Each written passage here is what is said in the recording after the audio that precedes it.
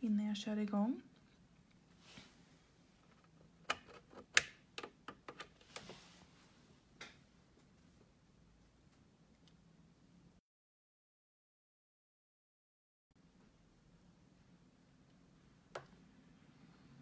Se om det kommer in några. Idag kommer jag i alla fall att visa eh, hur man gör baby boomer. Även kallad french fade eller french ombre. Vad man nu vill säga. Den är ju väldigt populär just nu. Jag skulle säga att det är den nya franska till och med. Hallå, vad kul. Det börjar att trilla in lite folk här.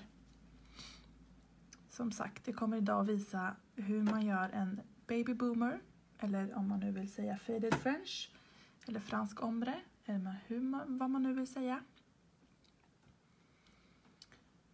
Den är ju väldigt populär idag på, eh, på salongerna. Och jag vet att det är många som tycker att den kan vara svår. Eh, jag personligen tycker att med rätt produkter så blir den ganska lätt att utföra. Och jag kan börja med att presentera mig. Eh, jag som ska hålla den här liven heter Josefin eh, och jag är en av lärarna eh, för Light Elegance. Och jag håller till i Linköping där jag har min nagelskola och salong. Så, jag tänker att vi börjar lite. Jag kommer idag att använda mig av fyra stycken produkter.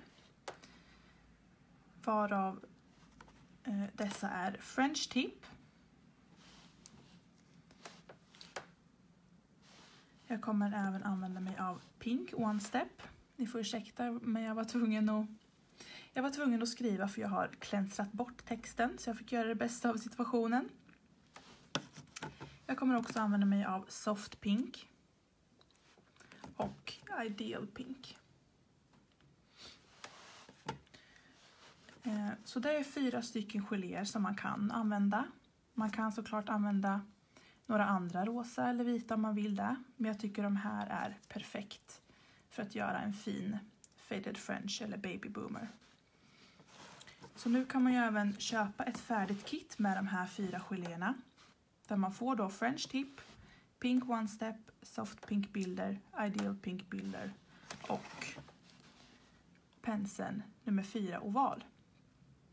Så där kan man köpa på ICGs hemsida. Och genom att köpa detta färdiga kit så tjänar man, eh, eller sparar man 30% av pengarna. Så, det är alltså en baby boomer som jag tänkte börja med nu och visa. Och jag tänkte visa två stycken olika som man kan göra med de här produkterna. Så vi börjar med den första. Då har vi en tipp här som jag redan har eh, buffrat. Därefter kommer vi gå in med tack som vi alltid gör när vi har preppat en nagel.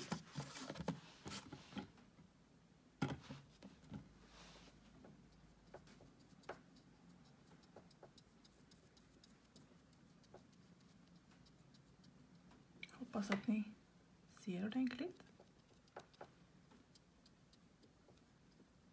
Och den härdar vi då i 30 sekunder i vår LED-lampa.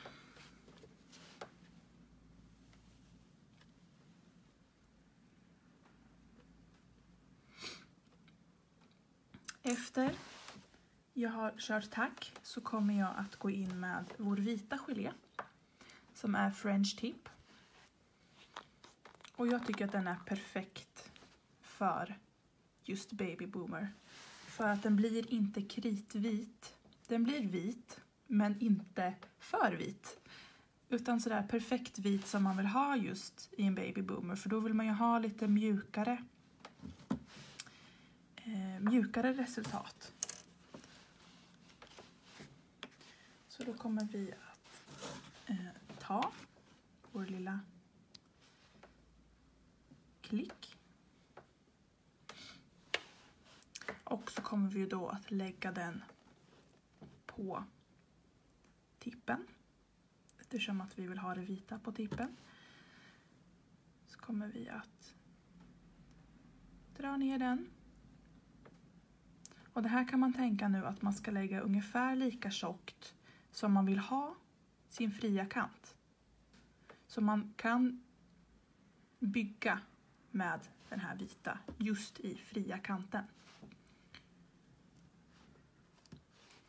Sen brukar jag vilja torka av min pensel innan jag börjar fejda upp det vita. Så att vi inte drar ut mer produkt. Utan att vi vrider på penseln och börjar att fejda uppåt. Och tricket med en bra fade är att få den vita um, tunn. Så att själva fejdningen från det vita upp mot nagelbandet ska bli tunn och en knappt synlig kant.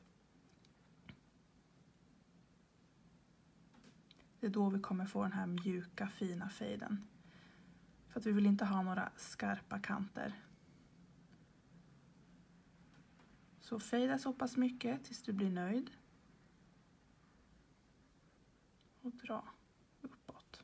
Om du behöver kan du torka av penseln igen så att du inte har så mycket produkt på penseln. Och fejda upp. Där. Och den kommer vi härda i lampan i 30 sekunder. Så det var steg nummer ett med French tip.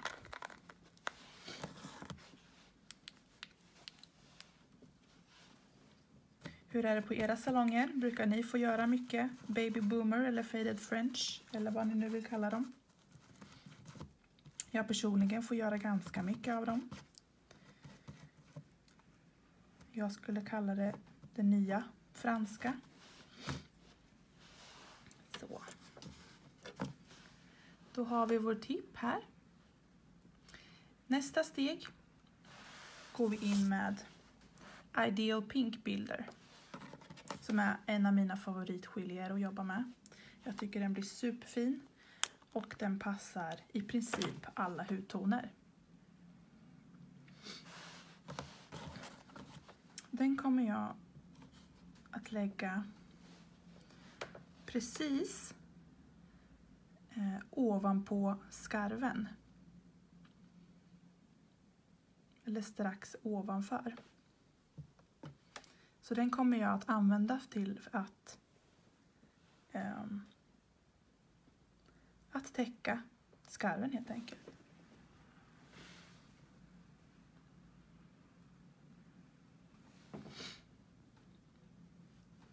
Så då kommer vi börja att likadant försöka fejda ner mot det vita. Och återigen, har man för mycket på penseln så bara torka av. Så tanken här är inte att man ska täcka det vita för mycket utan enbart täcka så att det inte blir en ful kant. Och likadant fejdar vi upp mot nagelbandet så att det inte blir en onaturlig färg längst uppe vid nagelbandet utan att vi tunnar ut.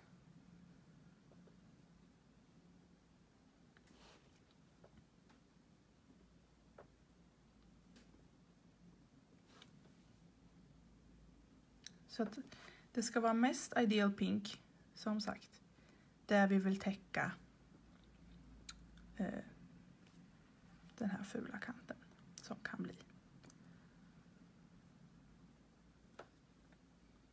Och jag går ner lite på det vita, bara för att det ska bli en jämn och fin övergång.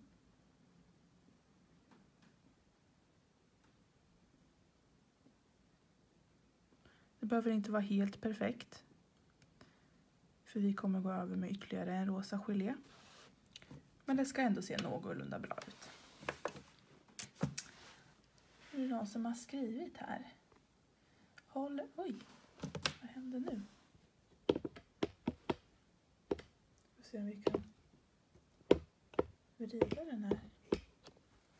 Håller på att sakta starta så inte kommit så långt än. Jaha, då ska vi se om vi kan vrida tillbaka den här.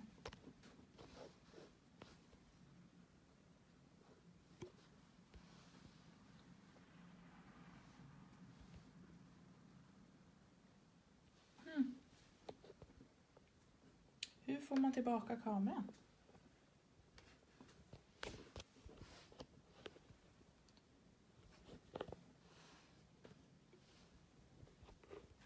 Någon som vet?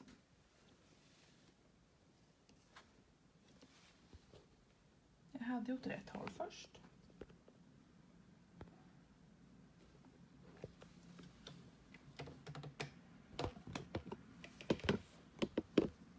Någon som vet hur jag får tillbaka?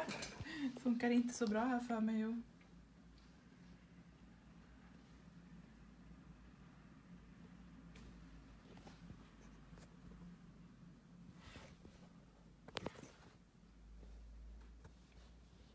Få tillbaka den. Jag ber om ursäkt. Hmm.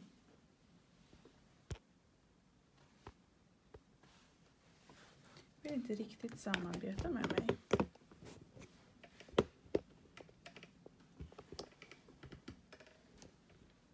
Vad konstigt.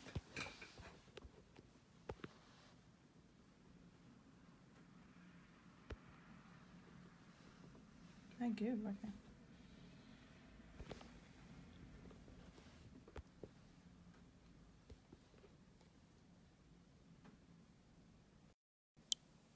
Det var jag.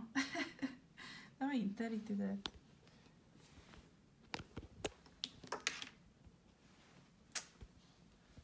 Det står att jag ska rotera och det är det jag gör men det går inte så bra.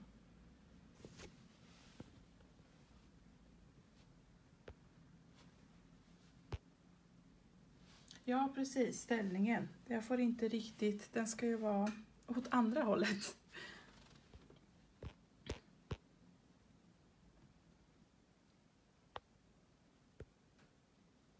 Mm.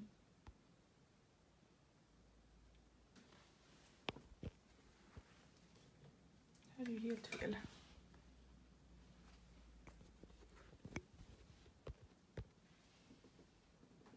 Men gud. Nu får jag tillbaka.